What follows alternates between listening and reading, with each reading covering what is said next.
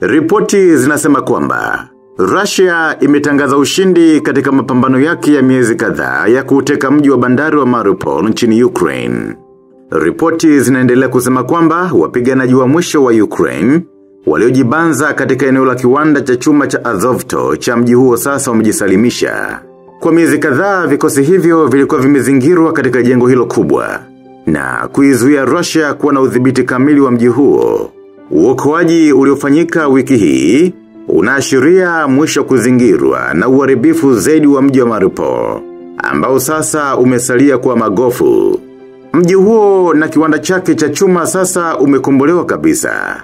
Baada ya wanajeshi 531 wa Ukraine kuondoka katika eneo hilo, wizara ya ulinzi ya Russia imesema. Vituo vya chini ya ardhi ya kiwanda hicho, ambako wanamgambo walikuwa wamejificha viko chini ya udhibiti kamili wa majeshi ya Russia, iliongeza taarifa hiyo. Hata hivyo, rais wa Ukraine Zelensky, amesema walinzi wa mwisho waliosalia katika eneo hilo wameruhusiwa kuondoka. Leo wapiganaji hao walipokea ishara ya wazi amri ya kijeshi kwamba wanaweza kutoka nje na kuokoa maisha yao, alisema Zelensky. Kwa wiki kadhaa eneo hilo la Azovto ilikuwa limezingirwa kabisa na wanajeshi wa Russia. Kuna ripoti pia zinasema vikosi vya Russia vilizuia misaada yote ya kibinadamu kuingia na kisha kulishambulia eneo hilo kutoka angani na kuwataka watetezi wake waliobaki kuweka chini silaha zao na kujisalimisha.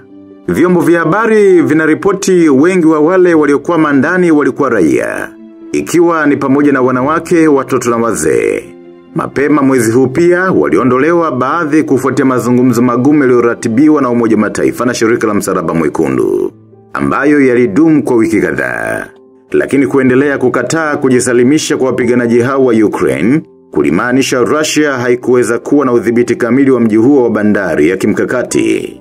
Kwa raia wengi wa Ukraine, inawaona wapiganaji hao wa Azovto waliojisalimisha kuwa mashujaa wa kitaifa, ambao walionyesha upinzani wa ukaidi wa nchi dhidi ya Russia. Mamia ya wanajeshi waliojificha kwenye maandaki ya kiwanda hicho ni pamoja na wanamaji. Jeshi la ulinzi la taifa ikiwa ni pamoja na kikosi cha Azov. Walinzi wa mipaka, polisi na vitengo vya ulinzi wa eneo hilo.